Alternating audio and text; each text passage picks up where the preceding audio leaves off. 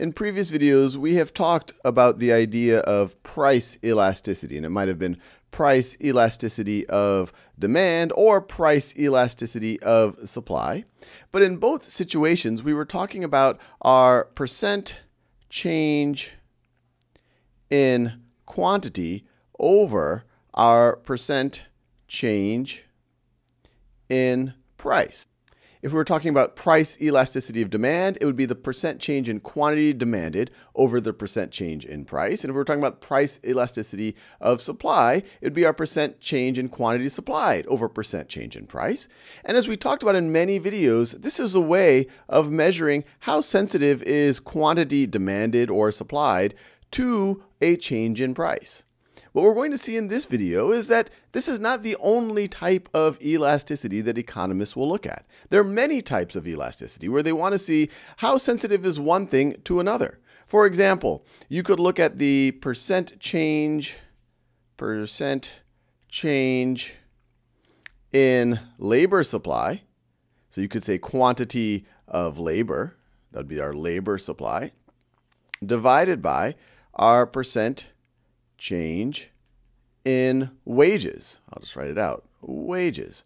And you could view that as our percent change in the price of labor. So you might say, hey, this is just a price elasticity of supply being particular to the labor market. But you can even see things, and we'll have a whole video about this, probably my next video that I will make, where you could have the percent change in, let's say, quantity demanded of one good divided by, so let me call it good 1 divided by the percent change in price of not that good, then we would have price elasticity, but of good 2.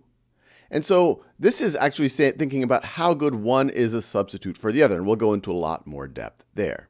But the focus of this video, as you can imagine, because it was already written down in a clean font right over here, is income elasticity. And here, we're going to think about the income elasticity of demand. And you could imagine what that would be. This is going to be our percent change in quantity demanded, demanded, divided by, instead of thinking about the percent change in price of that good or the service, we're going to think about the percent change, change in income of the people who might be in the market for that good. So normally you would expect that when our percent change in income goes up, that the same thing would happen to our percent change in quantity demanded. For example, let's say we're talking about the market for vacations. Well, as, as my income goes up, as most people's income go up, they might be able to afford larger or better vacations. And that would be a normal good. So this is a situation of a normal good normal good, just as what you would expect. But you could actually have the other way around.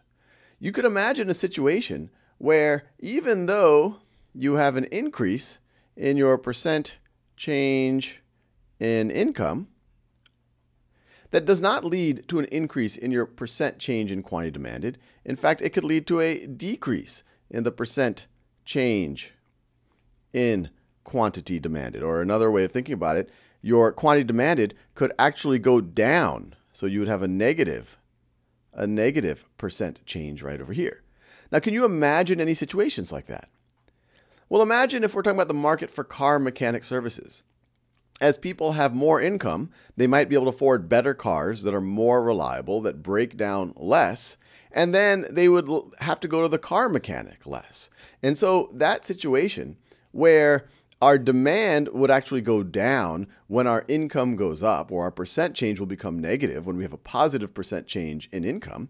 That would be, that is known as an inferior good. Inferior good. So there's two big things to take away.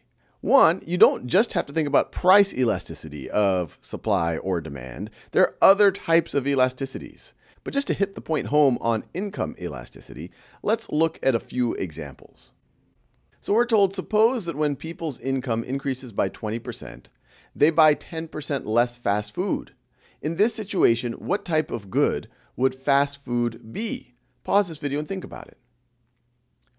Well, their income is increasing, but their demand is decreasing. So that's the situation we just talked about. This is an inferior good. Inferior good. And for kicks, what is the income elasticity of demand right over here? Calculate that. So just remember, our income elasticity of demand is just going to be our percent change in quantity demanded divided by our percent change instead of price, we're going to say in income. I'll just write percent change of income, which is going to be what? Well, we know our percent change in income, it went up by 20% in this example. And what happened to our quantity demanded? Well, it went down by 10%, so negative 10%. And so here you have an income elasticity of demand of negative 1 half or negative 0.5. Let's do another example. Suppose we knew that when people's income increased by 5% in a country, the demand for healthcare increased by 10%. What kind of good do people consider healthcare? Normal or inferior? So first, calculate the income elasticity of demand for this example, and then answer these questions. All right, so first, we are our income elasticity of demand. Let's see, when our income increases by 5%, so we have a 5% increase in income, our demand for healthcare increases by 10%. Our demand for healthcare increases by 10%. So we get a positive income elasticity of demand. And so, in general, if this thing is positive, you're dealing with a normal good. As income goes up, then you similarly see quantity demand, quantity demanded going up. So this is a normal good.